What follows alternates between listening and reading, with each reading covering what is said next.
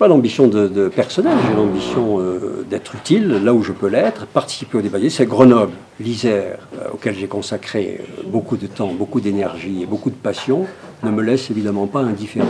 C'est naturel. Hein. On ne peut pas euh, avoir consacré autant euh, à cette région et puis s'en désintéresser. Et son malheur d'aujourd'hui, les perspectives d'aujourd'hui m'interpellent naturellement et c'est la raison pour laquelle je dis à nos concitoyens, mobilisez-vous pour que cette évolution ne se poursuive pas dans ce sens.